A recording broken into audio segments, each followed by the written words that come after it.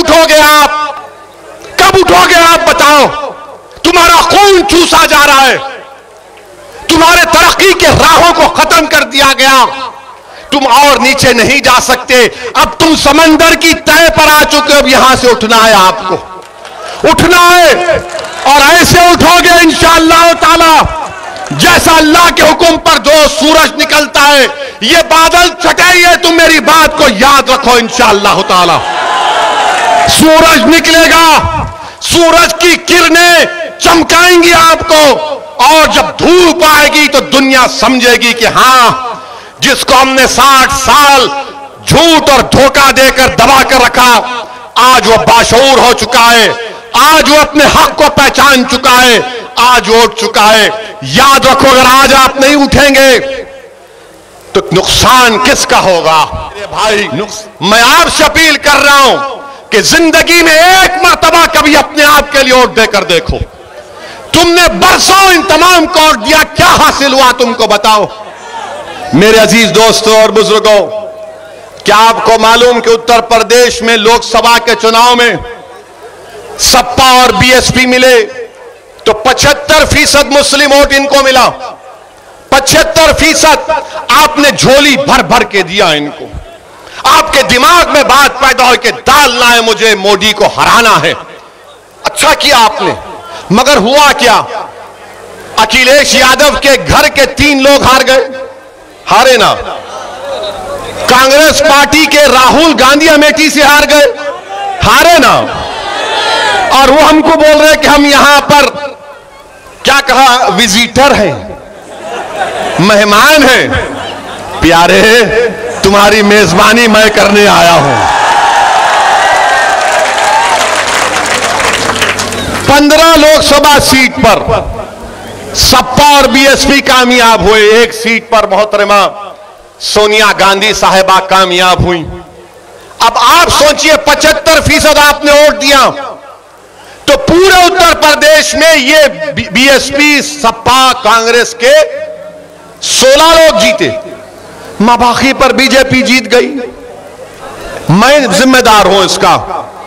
क्या मेरा कैंडिडेट था? क्या मजलिस मुस्लिमीन का कोई उम्मीदवार था? फिर कैसे जीते? तो मालूम हुआ कि हमारे हिंदू भाइयों ने 71 परसेंट हमारे हिंदू भाइयों ने 2019 के पार्लियामेंट के चुनाव में नरेंद्र मोदी को अपना वोट दिया। इसका जवाब दो। जो असदुद्दीन ओवैसी पर इल्ज़ाम लगाते हैं, तुम्हारा इल्ज़ाम झूठ है। कैसे हार गया तुम्हारा राहुल गांधी? किसने हराया राहुल गांधी को? क्या मेरे अजिन्नाथ उड़कर अमेठी को जाकर लोगों को बोले? क्या मैंने कान में आयतल कुर्सी पढ़ के फूक दिया सबके? फिर कैसे रहा राहुल गांधी बताओ? राहुल गांधी इसलिए हारे क्योंकि उनको मुस्लिम वोट मिला, मगर हिंदू वोट नहीं मिला, इसलिए वो हार गए। वो केरला जाकर जीतते वायनाड क्यों जीतते? इसलिए जीतते हैं कि उस कॉन्स्टेंसी में 35 फ़ीसद के करीब मुसलमान हैं। वहाँ पर जीत गए। अमेठी में नहीं थे, अमेठी में हार गए, मगर हारने का राज, हारने की वजह, नहीं, ओवैसी की वजह से हारे। यानी अब ये हाल हो गया कि अगर इनके घर में कल भैंस दूध नहीं देगी तो बोलेंगे ओवैसी सामने से गया था। कल सुबह चार बजे सुबह में मुर्गा बांग नहीं देगा तो बोलेंगे नहीं, ओवैसी की तकरीर रात में मुर्गा ने सुना था, इसलिए पुकार ना भूल गया।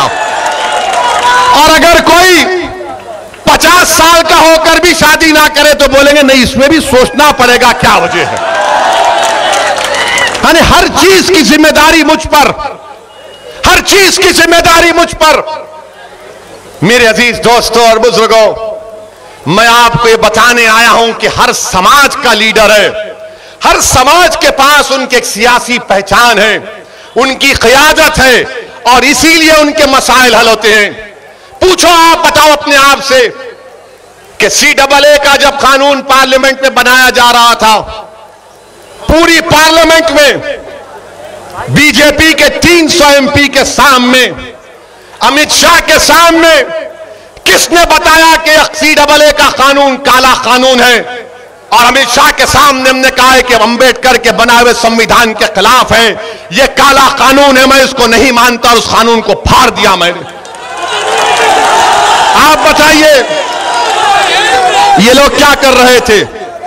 आज मंजलिस को कांग्रेस सप्पा बोलती है कि ये वोट काटने आए। पूछिए इन पार्टियों से कि जब अमित शाह ने 2019 जून या जुलाई में अनलॉफुल एक्टिविटीज़ प्रिवेंशन एक्ट का कानून का तरमीम करने का बिल लाया। और वो कानून क्या कहता है मालूम आपको? दिल्ली में एनआईए का एक इंस्पेक्टर कानपुर के किसी एक बच्चे को टेररिस्ट करार दे सकता है। बगैर उस पर कोई केस आए, उस कानून की तायद किसने की? कांग्रेस ने की। उस कांग्रेस की तायद उस कानून की तायद समाजवादी पार्टी ने की। उसकी मुखालिफत कौन किया? कौन तरमीमात पेश किया? किस, किसने उस कानून के खिलाफ वोट दिया? हुआ मंजलिस इतिहाद और मुसलमिन असउद्दीन अवैसी और इम्तियाज़ जलील क्यों किया आपने तायद की? क्यों समाजवादी ने और कांग्रेस ने तायद की? इनके पास कोई जवाब नहीं है। मेरे अज़ीज़ दोस्तों और बुज़ुर्गों, ये सब लोग हारते हैं। 2017 का चुनाव हार गए। कांग्रेस और समाजवादी मिल गए। तो एक गाना, क्या क्या गाना था वो, शौकत? कि यूपी को ये दो लड़के पसंद है। कहा था ना? यूपी को ये दो लड़के पसंद है, बह गए 300 बीजेपी जीत गई। फिर आपने दो साल के बाद पार्लियामेंट में बहन जी के साथ अलायंस किया। आप नहीं जीत पाए। अब हम जब आ रहे हैं अच्छा मंदलिस क्या करती है? हम सिर्फ़ भारत के पार्लियामेंट के इलेक्शन में तीन सीट लड़े। एक हैदराबाद। हैदराबाद की आवाम को लाखों सलाम हमने बीजेपी को फिर से हराया। नरेंद्र मोदी मेरे आकर मेरे खिलाफ कैंपेन किए। आपके मुख्यमंत्री को भी लाया गया था। बाबा भी आए थे। फिर ये राहुल गांधी भी आए थे। चार मीनार के दामन में जलसा किए।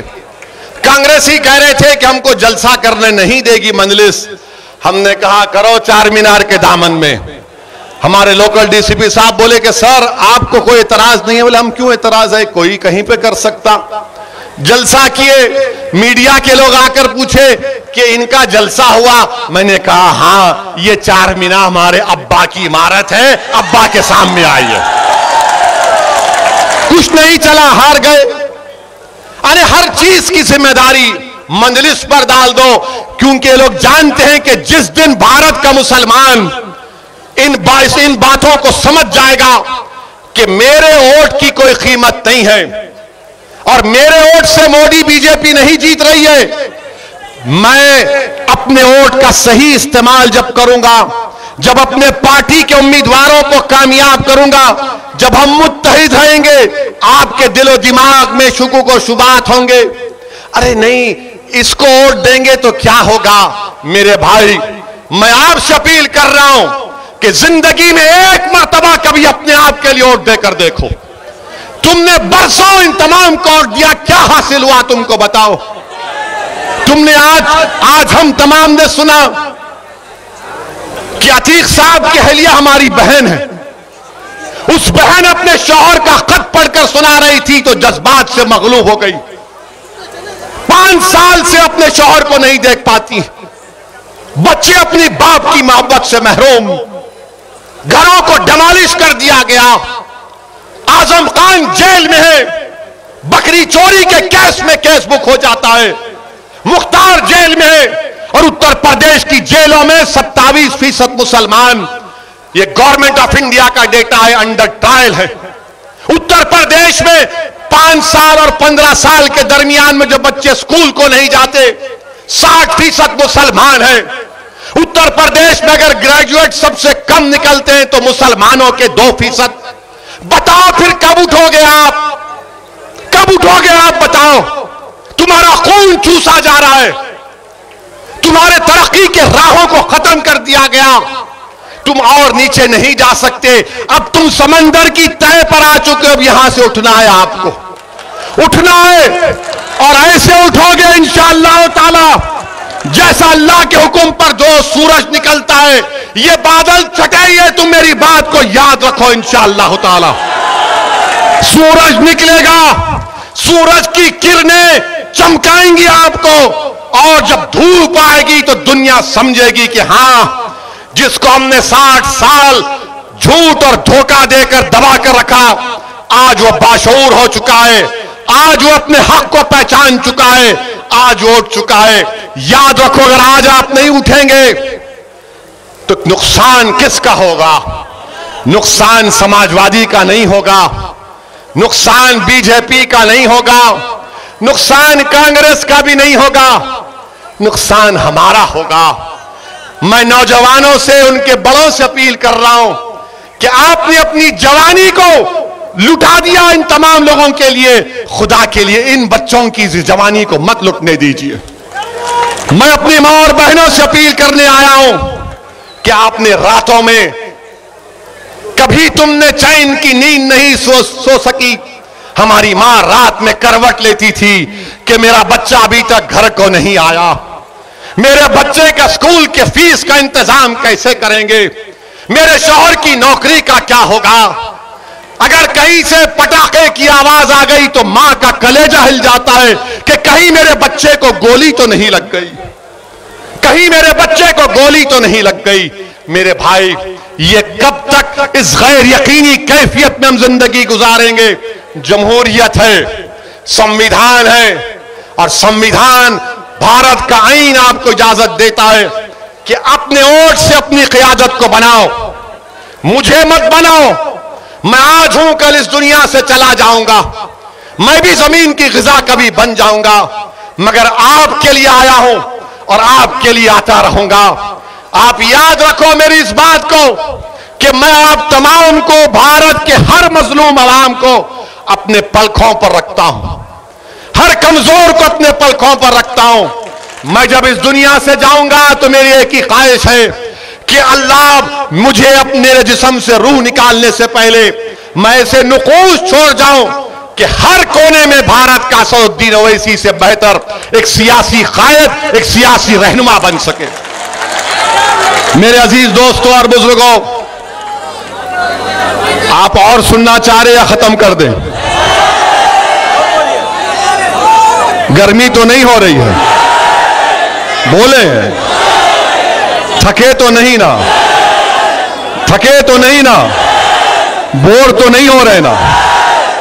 तो ठीक है, अब इतना बोलेंगे इतना बोलेंगे कि इंशाअल्लाह ताला विधानसभा के चुनाव तक उसके बाद भी ज़िंदगी भर बोलते रहेंगे।